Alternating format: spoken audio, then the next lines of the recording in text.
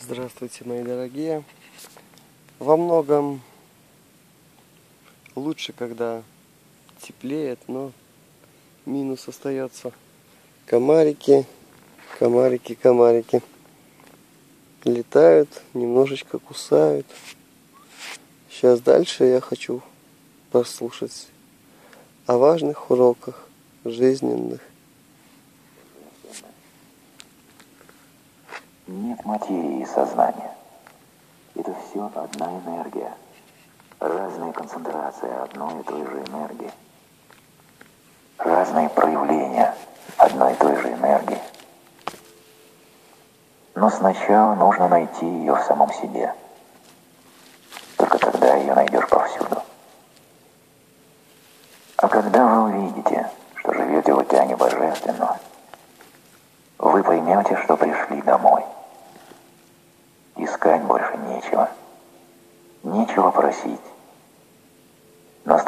полная удовлетворенность. Наступило совершение. Самое божественное переживание в жизни – это переживание абсолютного молчания. Как будто мир остановился. Это можно испытать. У нас внутри есть пространство, в которое, если проникнуть, весь мир просто исчезнет. И вас окружит глубокая тишина. Наступит первозданное молчание. Только в такой тишине можно услышать божественную музыку. Звук хлопка одной ладони. Только в таком молчании жизнь становится песней, праздником. Пережитое однажды, оно уже никогда не исчезнет. Самое смешное в людях то, что они несут это в себе и даже не догадываются об этом. Нас ожидает неистощимое богатство, а мы отворачиваемся от него. Мы бежим куда-то покоряем Эверест, летим на Луну, на Марс. Глупость человеческого ума заключается в том, что он готов идти куда угодно, только не к своему центру.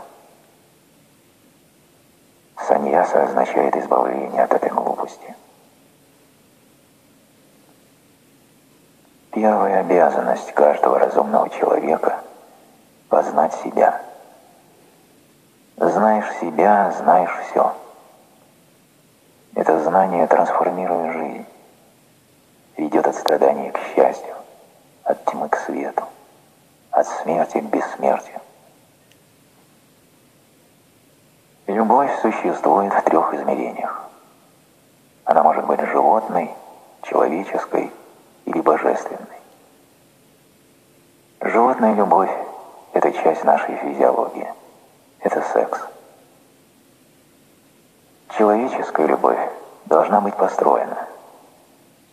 Биология – это данный фактор, но психология – это наше творчество. Все части налицо. Есть холст, краски, кисти. Но картины еще нет. И от нас зависит, какой будет картина. Можно нарисовать картину который будет походить на кошмар. Это может быть картина Пикассо. А может быть нечто невообразимо прекрасное. Не кошмар, а дивная мечта. Холст тот же, те же краски, те же руки. Но чтобы создать истинную красоту, нужно быть очень чувствительным и эстетически пробужденным. Так что любовь зависит от вас – Секс от вас не зависит, он часть вашей идеологии. Это способ, в котором природа воспроизводит себя. Он не имеет никакого отношения к вам. Секс – явление почти механическое. Тут присутствуют химические элементы, физиология, гормоны. Он не имеет никакого отношения к сознанию. Любовь – это творчество. И очень немногие способны творить ее. Люди заключают себя в клетку. Они даже не подозревают, что возможно нечто высшее. Та же самая энергия, которая проявляется в сексе, становится любовью. Но вы должны создать ситуацию, в которой энергия начинает двигаться в новом направлении. Направлении, которое не запланировано биологией. Над человеческой любовью возвышается божественная любовь. Это высшее творение. Человеческая любовь намного выше животной. Но что-то в ней остается как пережиток. Она вырастает из биологии и несет в себе многое от нее. Она не свободна от секса. Секс становится второстепенным, но он все же присутствует. Божественной любви секс полностью исчезает, испаряется. Исчезает животное.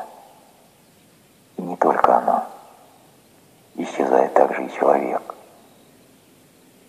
Божественная любовь – это чистая радость от того, что вы делитесь собой, своим творчеством, своей песней, всем, чем обладаете, со всем сущим.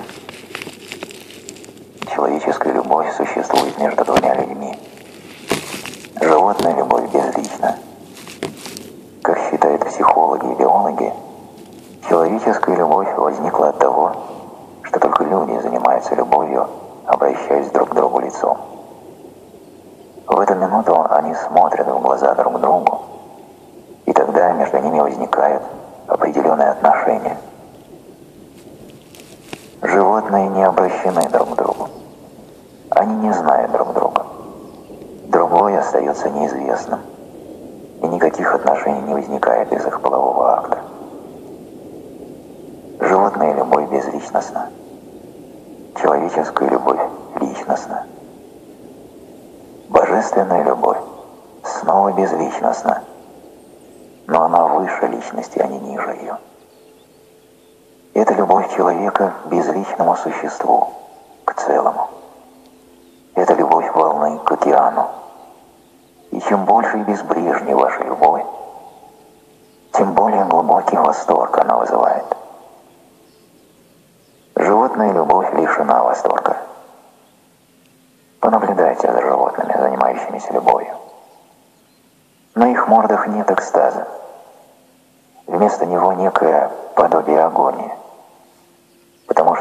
принуждает к тому какая-то естественная энергия, чьими пленниками они являются, с которой не могут совладать. И как только они заканчивают половой акт, на их мордах нет ни экстаза, ни благодарности, ни улыбки. И многие люди ведут себя точно так же. Человеческая любовь несет в себе радость, восторг. Но это только до некоторой степени,